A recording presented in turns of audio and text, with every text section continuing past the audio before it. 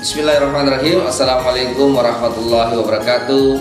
Salam sejahtera buat kita semua. Om Swastiastu, Nama Budaya, Salam Kebajikan. Saya Amiruddin, Bupati Banggai.